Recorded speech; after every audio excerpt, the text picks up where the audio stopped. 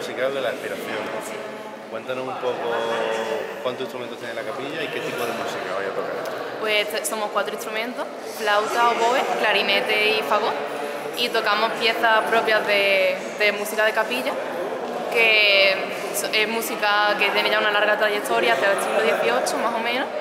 Y son piezas así cortitas de música religiosa. Y en principio, ¿de cuándo lleváis tocando como capilla? Por ser miembro de la banda de la Cofradía de la Aspiración. ¿Y aparte tenéis una capilla? Sí. ¿Desde hace muchos años? o- La capilla como tal sí lleva bastantes años, pero los nuevos componentes que la formamos pues llevaremos unos tres años o así. ¿En qué más procesiones o actos así participáis? Pues solemos tocar eso en Via Crucis, en presentaciones de cartel, en traslados de distintas cofradías de Málaga. Ya depende, los diferentes tipos. Y el Viernes de Dolores tocáis la banda aquí en el colegio también. ¿no? Sí, tocamos por la mañana con la banda ya desde hace varios años. Tercer año, ¿qué te parece la experiencia de tocar aquí? Bueno, la verdad es que es genial. ¿Te gusta la procesión, el ambiente, los niños? La verdad es que sí, nos gusta mucho participar aquí y como a todos nos gustan los niños también.